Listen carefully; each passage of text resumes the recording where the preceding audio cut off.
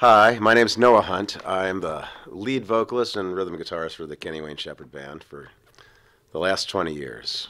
Um, we've been in the studio, obviously, recording our next record. I was going to give you a little rundown of my rig and what I use in the studio. Obviously, my most important instrument is my voice and uh, my microphone. I've been using a Telefunken 251, a very nice microphone. It's probably my favorite microphone to record with and to use. And uh, this this is so that I don't spit on it too much and damage it with saliva and stuff like that. I usually put on the headphones, put this on, and then I can mix what I'm hearing from in there, sing into the microphone. Obviously, my music stand with my lyrics, the occasional guitar pick when I do play guitar, and you know, the most important stuff of course, we have to have water to keep the throat well lubricated.